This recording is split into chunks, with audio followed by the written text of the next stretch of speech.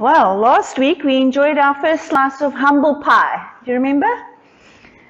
Tonight we're going to savor another slice of this ultimate slimming food that is guaranteed to cut us down to size.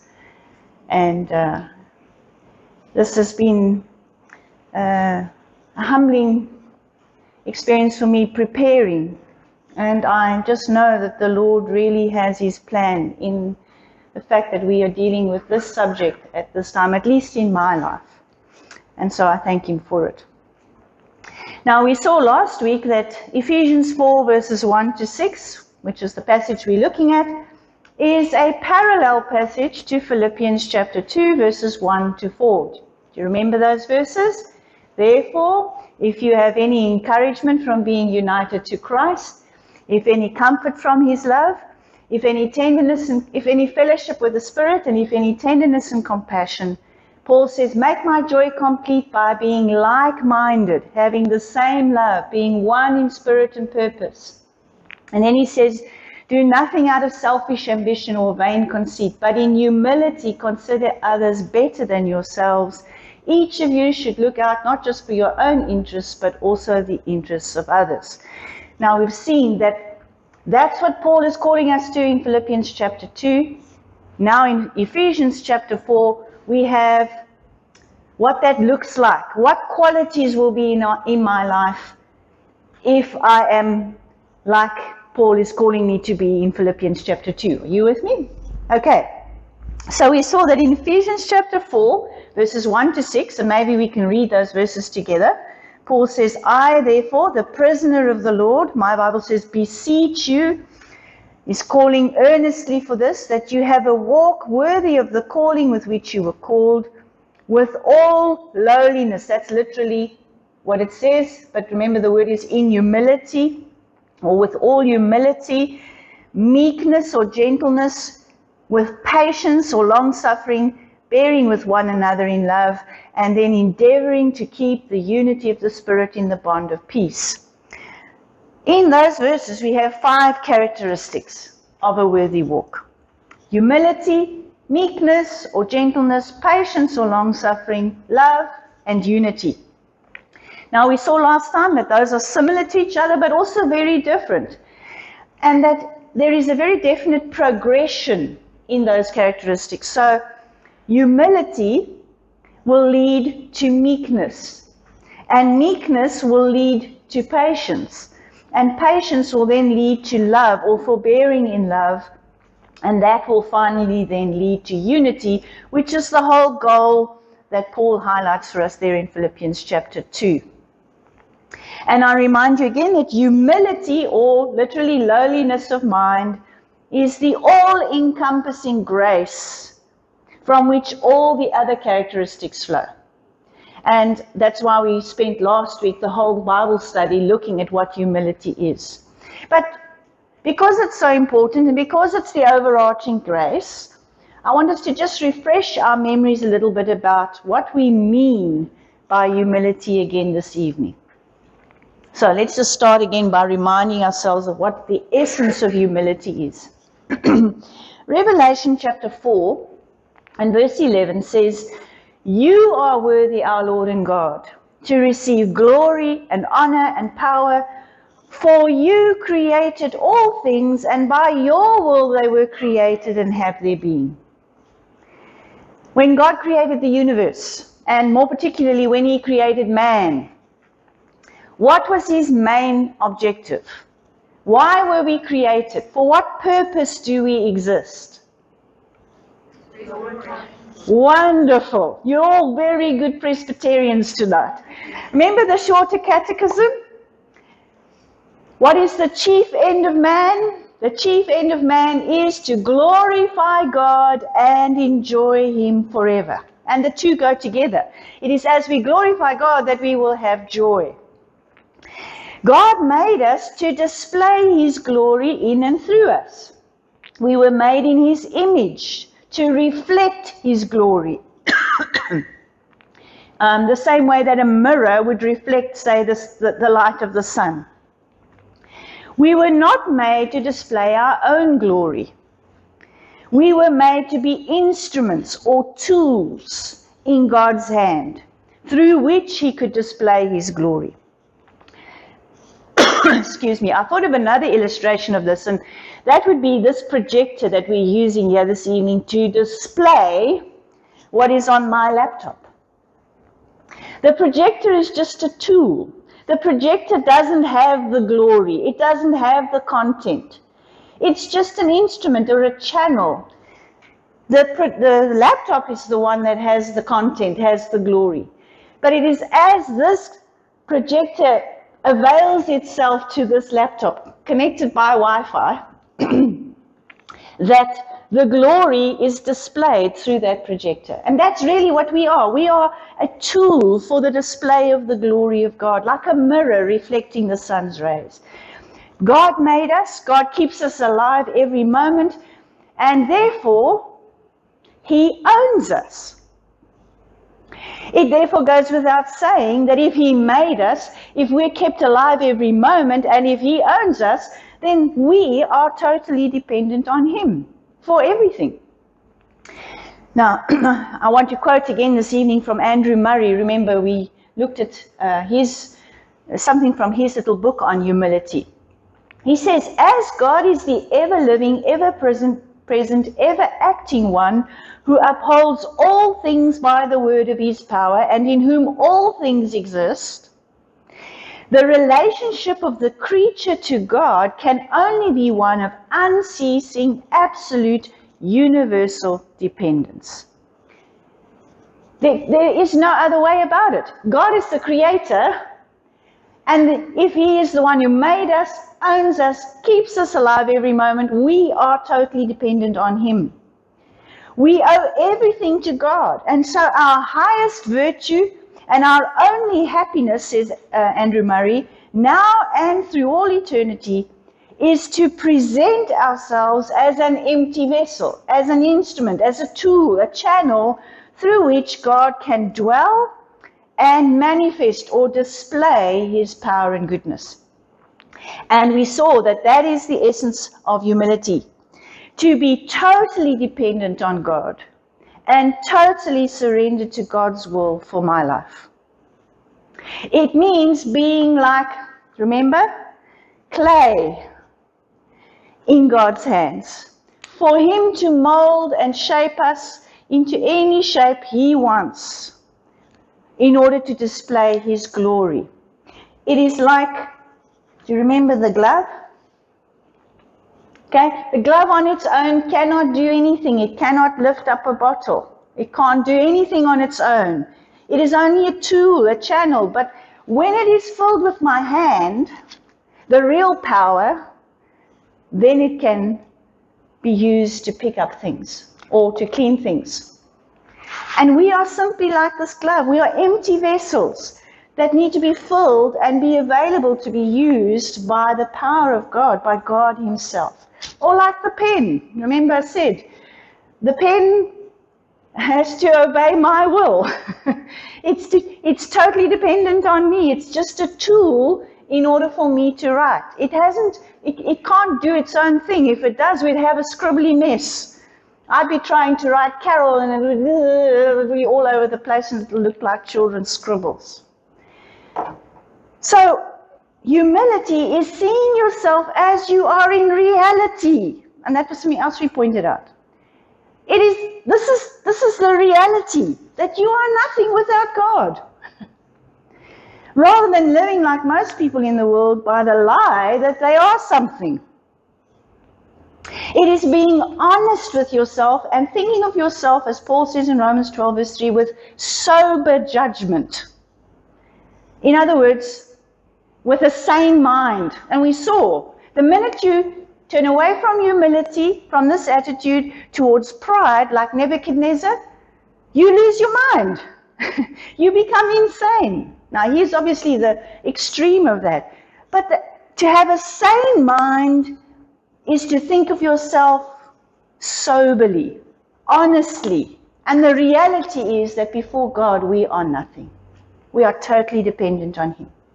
And humility flows not only, remember, just from a sense of shame for sin, Although obviously our sin should cause shame and should make us feel humble. But Andrew Murray points out an important thing that humility flows from a recognition of God's grace to me, a sinner, as my Redeemer, and from a realization of my true position before God as my Creator. So he's saying that knowing that I'm a sinner isn't, isn't what humbles us most. It is knowing that I'm a sinner redeemed by the grace of God, that I'm only a creature of the Creator. That is what humbles most. Listen to him here.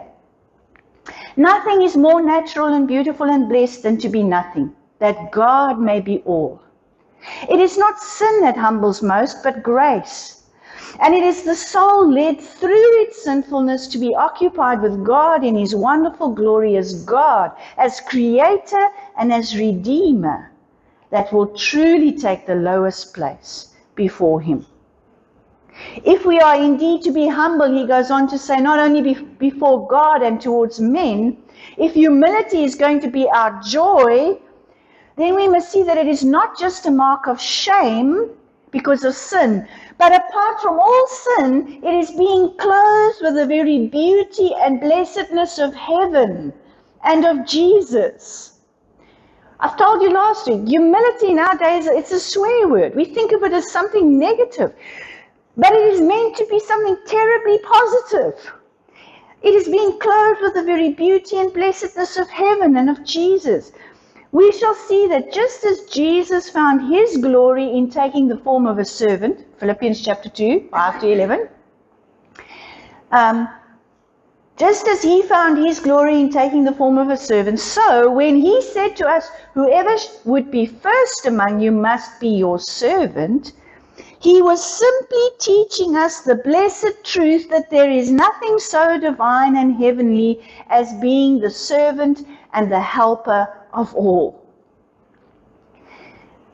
The faithful servant who recognizes his position will find pleasure in supplying the needs of the master and of the guests. If you know that's your position, you're a servant in the house, and you find joy in that, it will be your pleasure to serve the master and to serve his guests.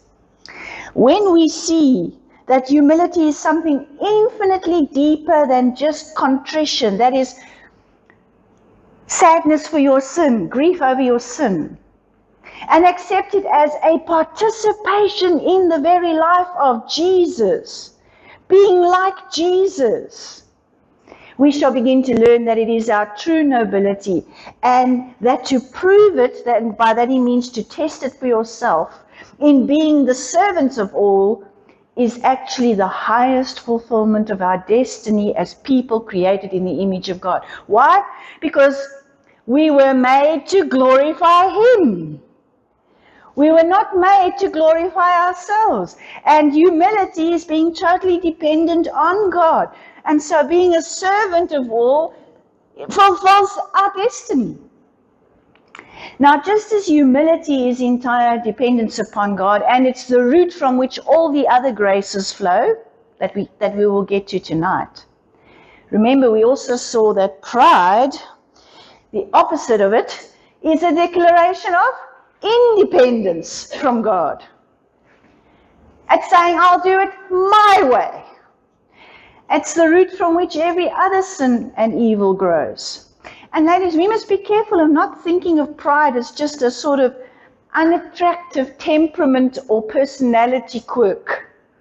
It's just the way I am kind of thing.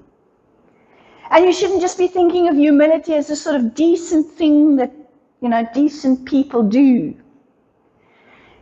We need to understand this is so serious. The one is death, the other is life. The one means hell, the other means heaven. Do you remember what we said last week? The rule of heaven is, thy will be done. The rule of hell is, my will be done. And ultimately, hell is just the place where we ultimately get our own way, where we get our own way finally. And that's what Jesus came to save us from. He came to save us from our pride, and it is what He came to restore us to to humility, to dependence on God again, to glorifying God. He became man so that he could take our place as our substitute and fulfill our destiny, what we were created to be. He was the ultimate man who humbled himself completely. He, his was a life of perfect humility, of total dependence on God his Father, of total submission to the Father's will. And it is in this way that his humility, his humble life in our place, is our salvation. He lived the perfect life we can't. And it is his salvation, what he came to accomplish for us, that ends up being our humility. That leads us again to humility before God. Do you understand what I'm saying? Peace, not, no, I'm, um, no, right, you're with me. All right, humility is not something, it's not just a something that we bring to God, says Andrew Murray. It's not just something he bestows. Now, what, what he's trying to say is humility doesn't have some kind of existence. There's no such thing as the stuff. Picture the stuff called humility. There isn't such a thing as stuff called humility, okay? What it is, is just a sense of entire nothingness. It's an attitude, a sense that comes when we see how truly God is all and in which we make way for God to be all. When the creature realizes that this is his true nobility, and he has an important word, and consents to be with his will, his mind, and his affections, the form or the vessel in which the life and glory of God are to work and manifest or display themselves, then he will see that humility is simply acknowledging the truth of his position as a creature and yielding, another very important word there, yielding to God his place. And that's a very important point that I want to, us to take note of tonight that I didn't point out last week. Because obviously, the glove and the clay and the pen, which is somewhere down here, they, as illustrations, fall short, don't they? Because these things don't have a will of their own. They are inanimate objects. But we who are made in the image of God, we have the ability to choose. We have a will. We teach the children in Sunday school that being made in the image of God is this with a mind to know God, with a heart to love God, and with a will to choose to obey God. That's what makes us different to the glove and the clay and the, and the pen. We have the ability to choose to obey God. And so, what I need to point out, and this is so important, is that what we're talking about is willingly choosing to surrender. It is voluntarily giving up the rights to control or run my life. And it involves a glad, wholehearted surrender or submission to the sovereign control and the will of the Creator. That's what God is calling for. That's what Jesus came to restore in us the ability to do that, to become like clay in the master's hands. Remember, we used the illustration of dancing last week, ballroom dancing. Ilza, you'll be able to tell us because you and Marina's did ballroom dancing at some stage. But you can't have two people leading, can you? If you have two people leading, you have a disaster. One leads and the other follows. And that's what God is saying. I'm the creator. I lead. I lead with love. You need to surrender to that leadership and follow me. So, how do we fight for humility? Do you remember what we said? Beholding is becoming. It is as we meditate on the life of Jesus that we will be transformed from one degree of glory into another to become more and more like Jesus. 2 Corinthians 3:18. And remember we said that we need to take up the yoke of Jesus. Come to me, all you are weary and heavy laden. Take my yoke upon you. And we saw that that yoke is the willing submission of, of Jesus to his Father. And learn from me, says Jesus, because I am gentle and humble in heart. So it is as we look at the humble and gentle Jesus, as we meditate on him, that we will become like what we behold. Just like little children become like their parents when they copy them. Andrew Murray says, Let us study the character of Christ until our souls are filled with the love and admiration of his lowliness. And let us believe that when we are broken down under a sense of our pride and our impotence to cast it out, and that's something that these Bible studies have done for me. My goodness, it just shows you again and again just how full of self we are. That great I. And how unable I am in and of myself to kill that I.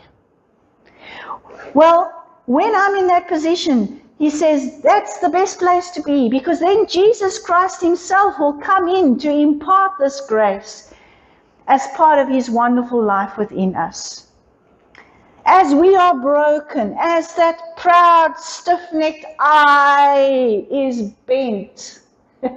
Remember, we said that, as, that a C is just a bent eye, That the life of Jesus Christ will be able to, or He'll be able to live His life in and through us. Galatians 2:20 I have been crucified with Christ and I no longer live but Christ lives in me and the life I live in the body I live by faith in the son of God who loved me and gave himself for me. So who is your master? Whose will is the guiding principle of your life?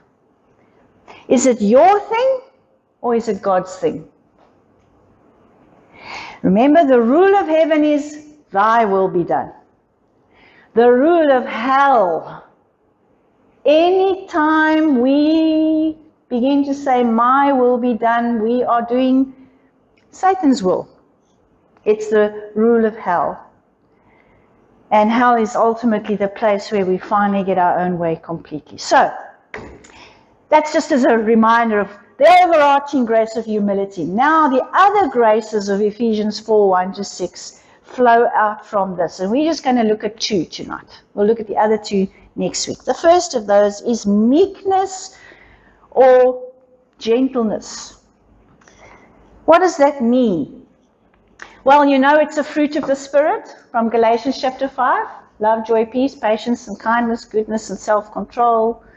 Uh, I need to sing the Sunday school song to get all the, all the, the fruits. But meekness is one of them. And it is a byproduct of humility.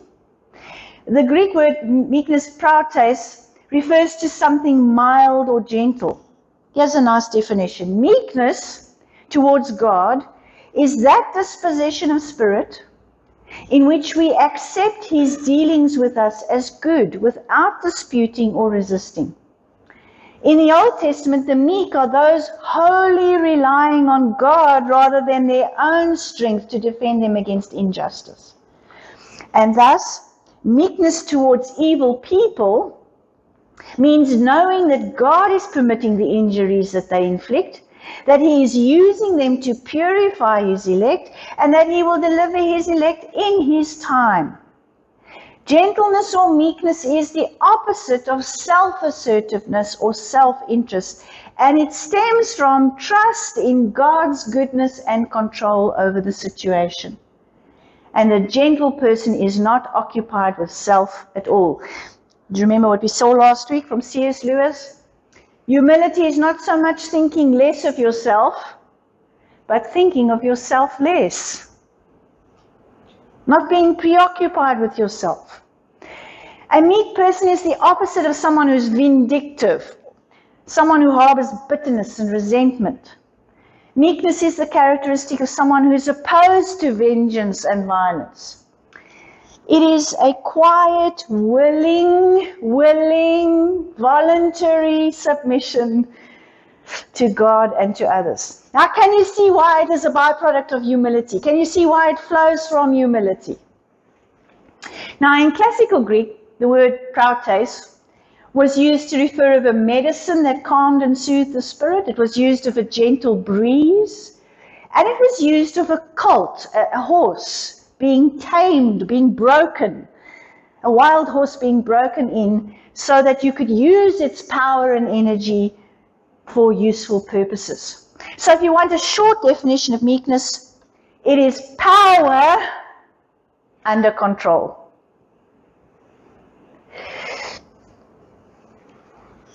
A meek person is not weak or cowardly.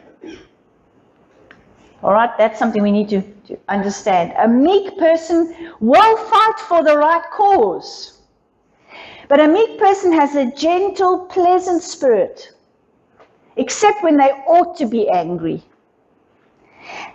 So meekness is power under control. Let me illustrate it for you from those illustrations of the way the word was used. It's illustrated by a horse. The Greeks used to call their horse praus or meek. When the horse got to the level of training where it would obey the master or the rider no matter what was going on. If it got to that level of training, then they knew it could be trusted in the heat of battle, not to do something stupid or foolish. So it, it was a wild horse trained to the point where that horse could be trusted to do exactly what the master or the rider told it to do, no matter what the circumstances. And once he could trust the animal to obey him no matter what, he would call it a meek horse. Even though it was a powerful, thoroughbred stallion capable of killing enemies in battle. So, do you see, it's not a weak word. It is power, but under control. It's illustrated by the wind. When the wind blows with hurricane force, it wreaks havoc. But when there's a quiet, gentle breeze blowing and it catches a windmill, the windmill pumps the water, which waters the crop, which feeds the people. You see, it's power under control. You mustn't think of meekness as being characterized by indifference or cowardice or weakness or fearfulness. Meekness is not powerless or cowardly because Jesus was meek and he wasn't impotent or cowardly. Ephesians chapter 4 in verse 26 actually goes on to say, In your anger, do not sin. In other words, anger for the right reason is power under control. In your anger, or be angry, but do not sin. Anger for the wrong reason is power out of control. Aristotle, the Greek philosopher, had this very helpful definition of meekness. Meekness is the virtue between indifference, in other words, I don't care about the situation, I couldn't care less, and anger or a short temper. So meekness is in between the extreme of, who cares, whatever, whatever. How do the kids say today? That's just gone out of my head. You guys was helping now. it is what it is. Thank you. That's what I was looking for. it is what it is. My son is forever saying that. And that frustrates me. It's not indifference, it is what it is. But it's also not a short temper or a short fuse. It's that thing in between. Aristotle said the gentle or meek person is praised for being angry under the right circumstances with the right people in the right manner at the right time and for the right length of time. Meekness is power under control. It has a tough side. It doesn't back away from sin. It doesn't cease to condemn evil. It is anger under God's control.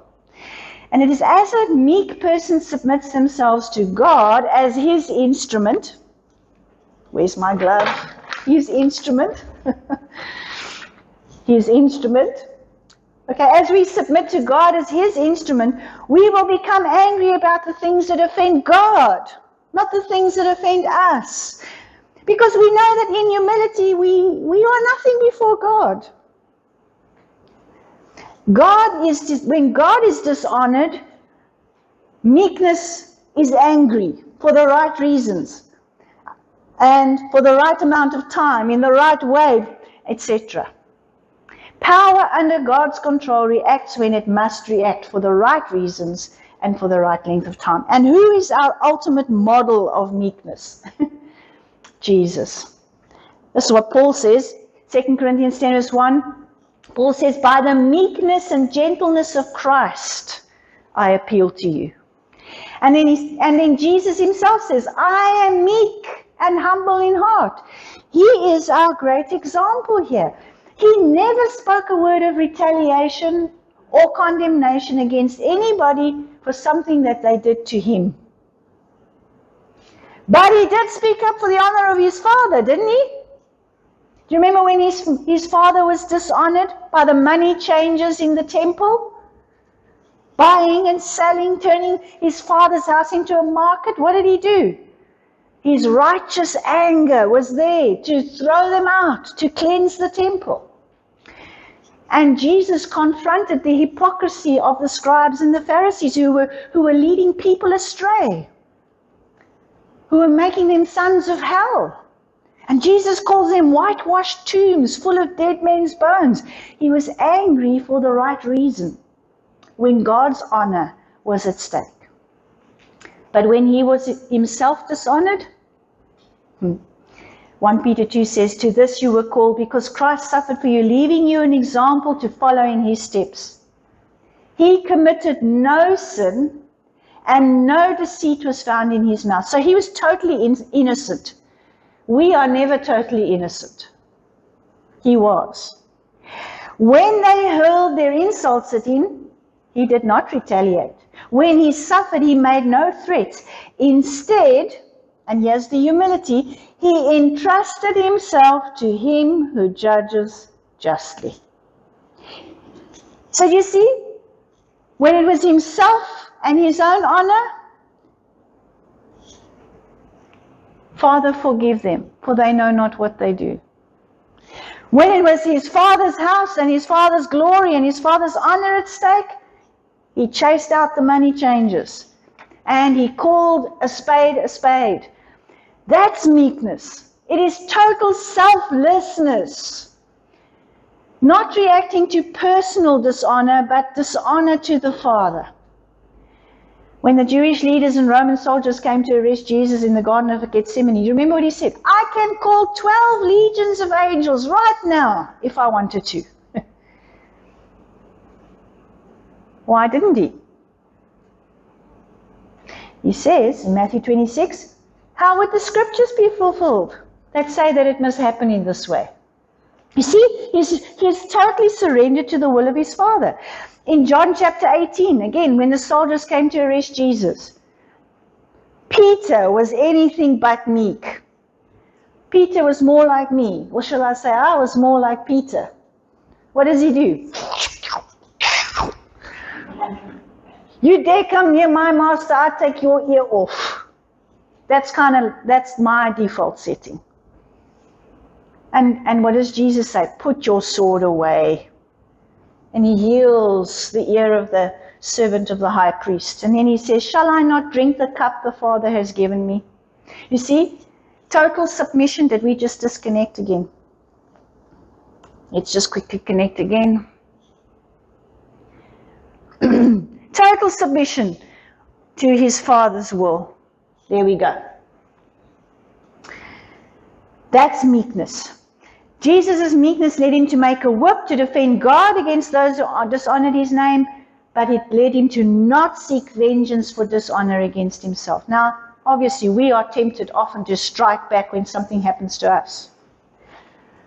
We need to remind ourselves not to get angry and to remember that what your neighbor does to you doesn't really matter because you don't matter in the sense that you are just God's servant.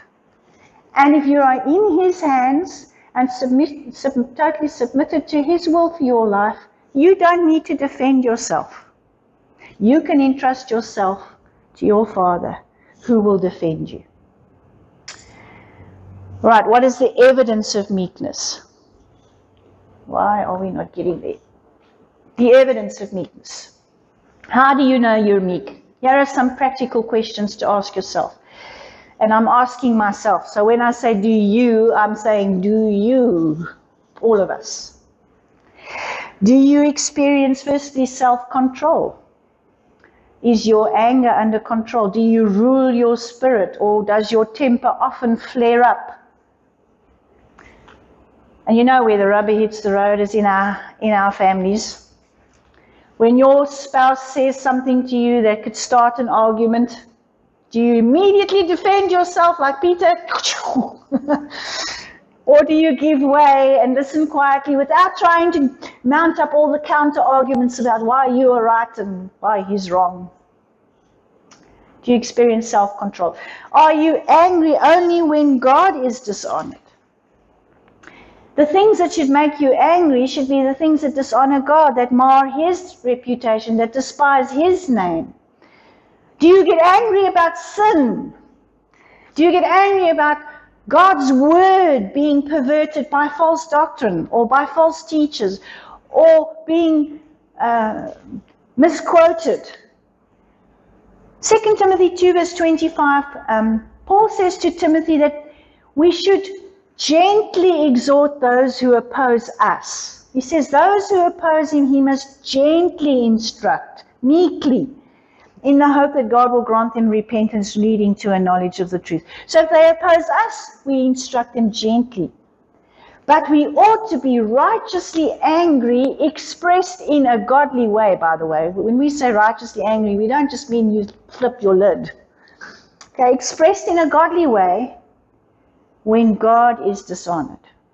So, are you angry when God is dishonored? Do you respond humbly to God's word? James 1, verse 21 says that we are to receive with meekness, with meekness, or humbly accept the word planted in you, which is able to save you. Do you submit meekly to the word of God, no matter what it says to you? When you are challenged by God's word through the preaching and teaching ministry of the church, do you submit meekly to that word? Do you say, God, transform me, change me? Or are you what one lady once called a skopgraaf Christian? You know what the skopgraaf Christian is in Afrikaans? It's the, the, the one who takes the skopgraaf, that's a spade, and goes, this is for my husband. I hope he heard what the pastor said. This is for my son. This is for my daughter. This is for so and so. I hope she heard what the pastor said. And, and we never take the word of God and say, Well, God, what are you saying to me? What, is, what are you showing me is wrong in my heart? What must I submit to? Do you always seek to make peace? Because meek people are peacemakers.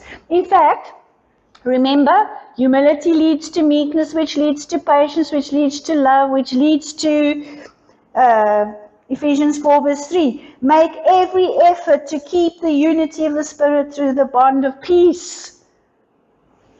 Peace, you see? Meek people don't start fights, they end them. When someone falls into sin, do you condemn them or gossip about them? Or do you practice Galatians 6:1? Brothers, if someone is caught in a sin, you who are spiritual should restore him gently, meekly, knowing that you too are a sinner. Do you accept criticism without retaliation? Mm. That's a hard one for us perfectionists.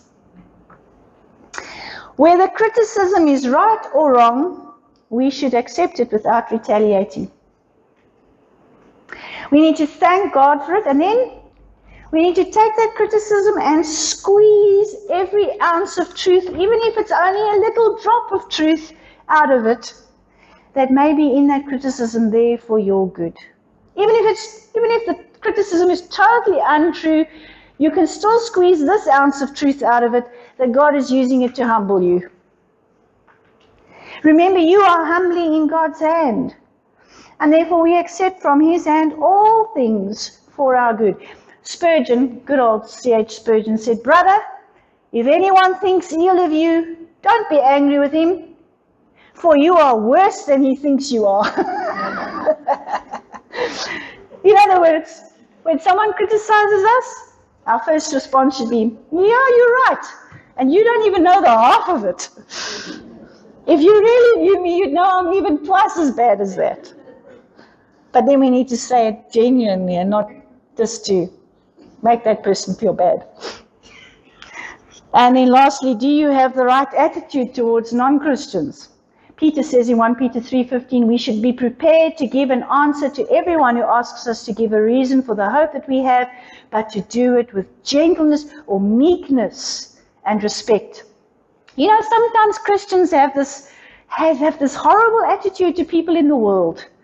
You know, we can look down on non-Christians and sort of, well, at least I'm not like that. And then we forget that actually we're in the same position, but for the grace of God. We would be in. Do you really believe that? I shudder to think where I would be today if God had not reached into my life at age 15. Because I now was on a path headed for disaster. The people out there are not the enemy, to use John MacArthur's words. They are on a mission field. So speak to them with meekness. Tell them about your hope with meekness and respect. All right, that's meekness. Quickly, patience.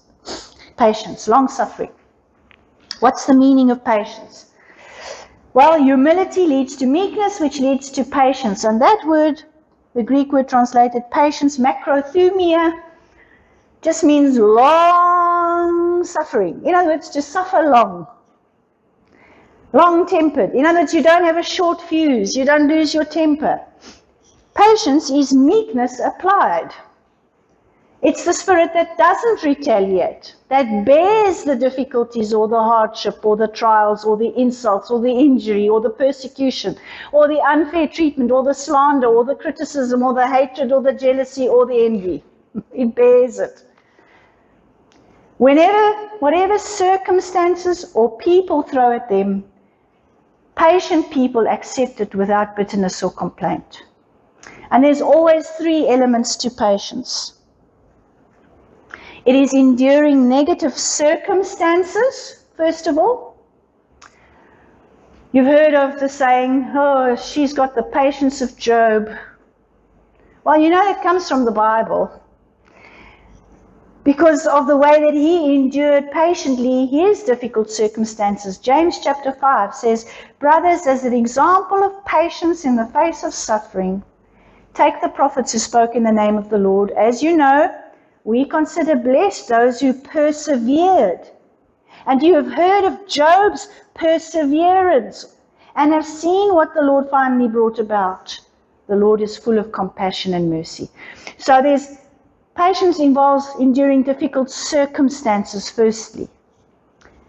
Think of Paul in the New Testament. Do you know what he was patiently willing to endure? Prison, hardship, hardship, I read 2 Corinthians 11 if you want to know about Paul's hardship for the sake of the gospel. He was willing to endure all things for the sake of the elect, he says in 2 Timothy 2.10. So that's circumstances. But it's also coping with difficult people. And often we can endure the circumstances a little bit better when it comes to patience than difficult people. Macrothumia is used in the Bible to speak of patience with people as well as with circumstances. 1 Thessalonians 5:14 says, "Be patient with everyone." When you come into contact with a truly patient person, you can't start a fight with them, no matter how hard you try. you have to live in peace with them. Now, our normal reaction, isn't it, is to be defensive when we're provoked, especially in our families. You know, we can put that, that stiff upper lip out there in the, in the world or with other people, but when it's hubby or it's that insolent teenager, that cocky teenager, or that defiant little two year old, it's not so easy. But what does it communicate when we're defensive? Like that. It communicates who's really important to us. That we are important. And what we do is important. Whereas the thing that is important is to defend God and not ourselves. The patient person does what Paul tells us in Romans 12 19 to 21. Again, he knows that he can trust himself to God. Vengeance is mine, says the Lord, I will repay. Therefore, we repay evil with good. And so we heap coals of fire on the head of the person. But we don't defend ourselves, we don't take vengeance or revenge ourselves. And then, thirdly, it is also accepting God's plan for everything. And that means trusting His providence, trusting that whatever He allows in our lives, He allows for our good. It doesn't argue with God's plan or question circumstances or people or God. A long suffering person says, Lord, if this is what you have planned for me, give me the grace, but I want to obey you. I want to do what Jesus did. I want to accept the cup from your hand and drink it. Trusting your wisdom, trusting your love in this providence which you've allowed in my life. Trusting, as John Piper says, that God is up to something good in all of my delays and detours and obstacles and difficulties. Patient people, as the hymn says, do not judge the Lord by feeble sense. They trust Him for His grace, and they know that behind a frowning providence, God hides a smiling face. He's up to something good. Who's our model again, ladies? Who's our perfect model of patience? Our Lord Jesus. Did he endure negative circumstances? Not one of us can ever say that we've had to resist to the point of shedding our blood like that. He chose to leave the perfect environment of heaven where his name was always praised, to come into this world where people rejected him, cursed him, and ultimately crucified him. And he endured it for our sake. He didn't have a home of his own. He often became weary and tired. He knew what it was to be hungry, but he endured it patiently. And he coped with difficult people. no, I thought I had those up. Can you imagine how patient Jesus must have been to deal with those 12 disciples? Oi, oi, oi. Peter, James, and John, the top three, James and John were just wanting to call down thunder from heaven and lightning to strike down everybody. And Peter, well, you know, he just, well, you can't go to the cross and die. And Jesus says, Get behind me, Satan. And, and he's about to go to the cross, and what are they doing? Arguing about who's going to be the greatest in the kingdom. I mean, can you imagine the patience Jesus must have had with those 12 knuckleheads? They just didn't learn the lessons. And then he, he's hanging on the cross, bearing our sin. People are spitting in his face, they're mocking him. And what does he say? Father, forgive him, for they do not know what they are doing. And remember, the people God forgives end up in heaven. so he's praying that God will forgive them so that they'll end up in heaven with him. The people who are mocking him, the people who are spitting on him. And then obviously we know that Jesus, man, Carol, it's not on there. Jesus accepted God's plan for everything, didn't he? Again, my Father, if it is possible, take this cup away from me, but not my will, your will be done. He endured unimaginable suffering because he knew it was God's will, and he humbly surrendered it, surrendered to it. So Jesus is the ultimately humble one, meek one, patient one. The one who made the world, the one who formed the galaxies in space, the one from our, our Isaiah lessons. Do you remember Isaiah chapter 40? The one who calls every star by name. And because of his great power and mighty strength, not one of them is missing. The one who preserves innumerable orbits of planets. The one who weighs the mountains on the scales and the hills in a balance. The one who holds all the waters in the hollow of his hands and before whom all the inhabitants are like grasshoppers. This one is humble and meek and patient and lowly. So can we, who are just dust, and nothing before God, can we not be a little more humble and patient and meek? This is Jesus' invitation to us tonight. At last, we get to that verse. Come to me. Come to me. You who are weary and burdened, and I will give you rest. How? Bend your neck to the yoke. Take my yoke upon you and learn from me, for I am gentle or meek and humble in heart, and you will find rest for your souls. For my yoke is easy and my burden is light. You know a yoke? It was made of wood, handmade to fit the neck and shoulders of the particular animal that was going to wear it so that it wouldn't chafe and, and, and hurt the neck of that animal. Now, for obvious reasons, the yoke then became a metaphor for submission. You can see why.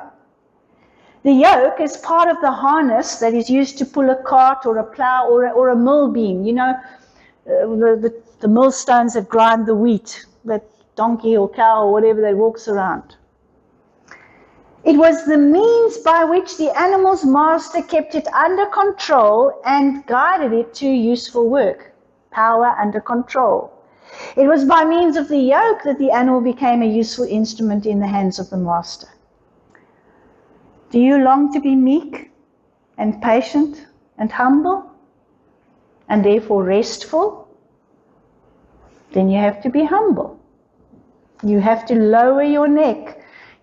You have to embrace that yoke of Jesus. And I'm telling you again this evening, I think that means not so much the yoke he imposes on you, but the yoke he wore, the same yoke, the yoke of submission to his Father's will.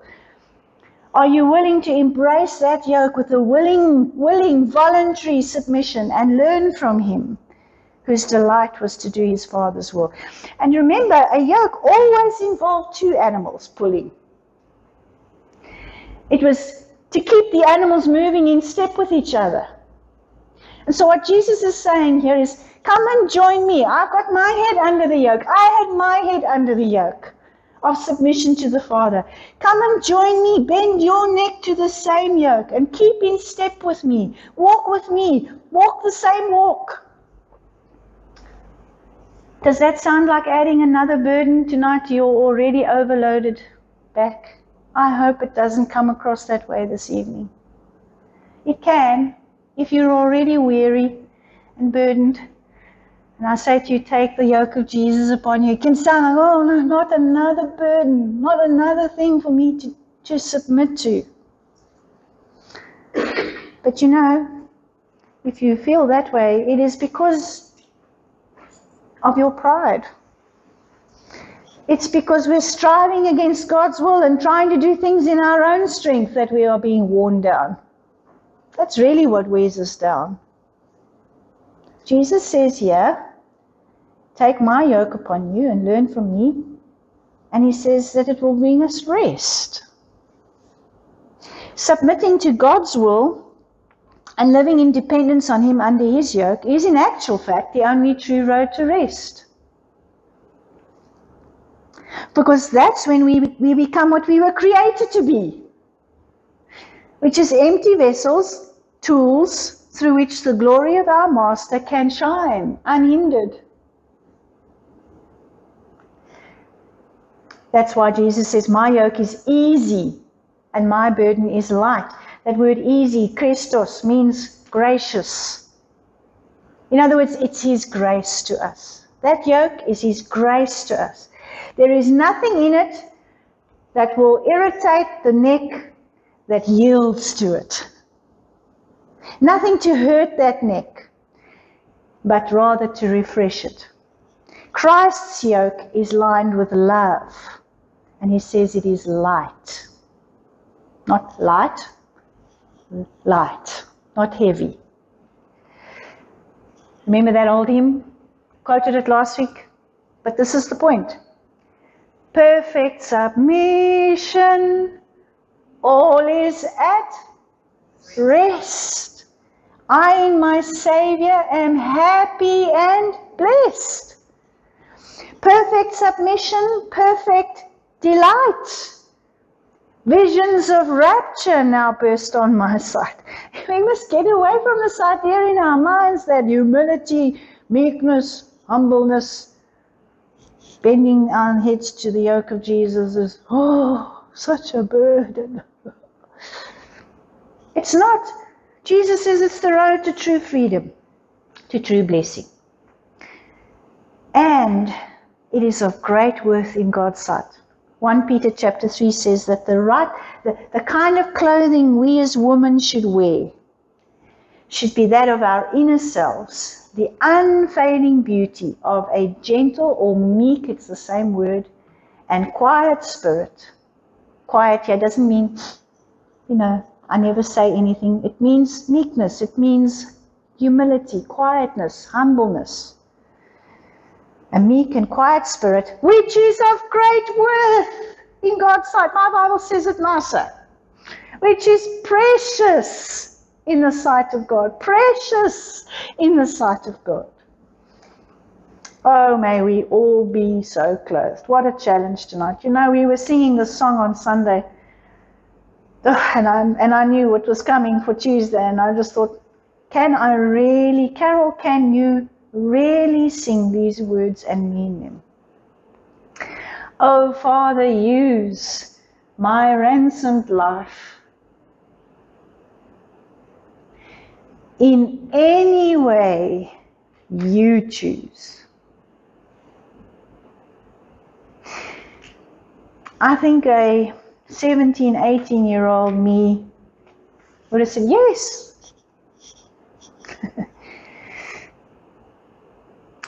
Now, a almost 52 year old me is saying, Can I really say that and mean it?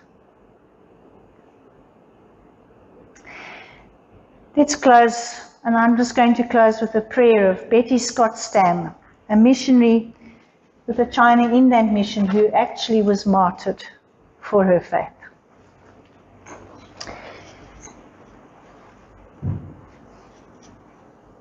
Lord, I give up all my own plans and purposes, all my own desires and hopes and accept thy will for my life. I give myself, my time, my all, utterly to thee, to be thine forever. Fill me and seal me with your Holy Spirit. Use me as you will. Send me where you want. Work out your whole will in my life at any cost, now and forever. May my life, Lord, be a channel, an unblocked channel through which your glory can be displayed. In Jesus' name, Amen.